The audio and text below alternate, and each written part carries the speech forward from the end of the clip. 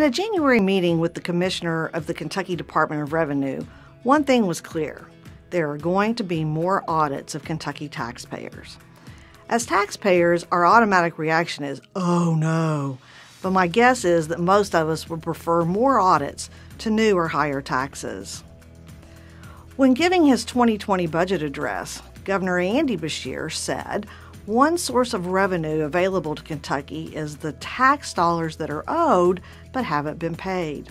The governor's two year budget proposal puts his money where his mouth is, or puts our money where his mouth is, by seeking nearly 8 million for hiring additional auditors for the Department of Revenue.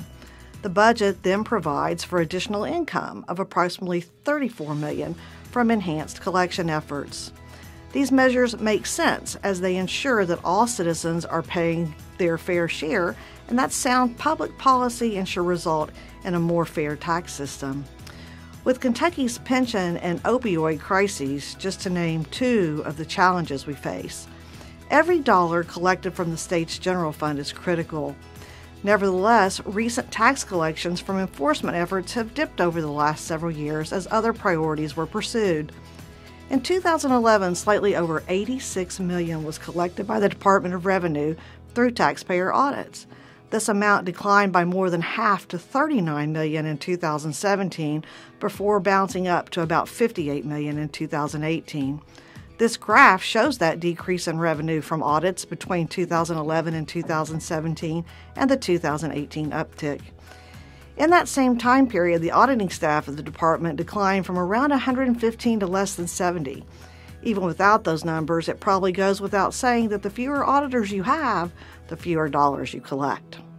So, what is a taxpayer to do in the face of these enhanced enforcement efforts? Here is a list of our three recommendations.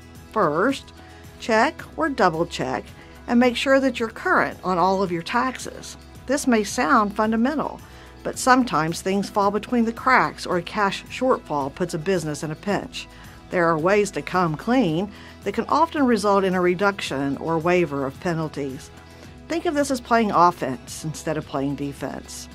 Second, if you get correspondence from the Department of Revenue, or any tax authority for that matter, set aside all your natural instincts and don't delay. Open that mail now. Letters or notices from tax departments are not, like cheese nor wine, they do not get better with age. Also, if you receive a tax notice or letter from the department, before you respond, make sure you know exactly what's being asked.